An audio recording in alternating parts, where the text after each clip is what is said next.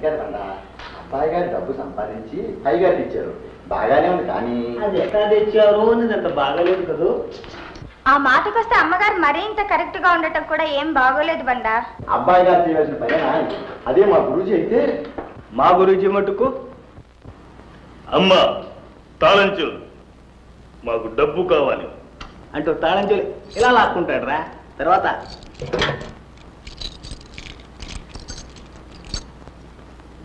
ఇదిగా. అంటాడు రా గురుజీ ఈరా అంటే ఈరా.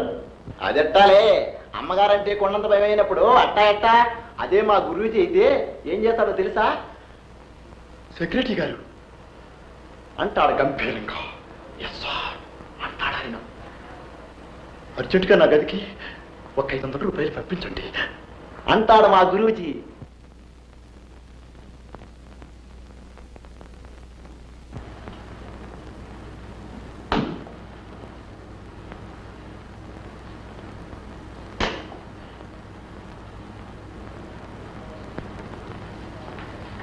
బండా టైం అయింది. నైవేద్యాలు ఆనక పెట్టచ్చు.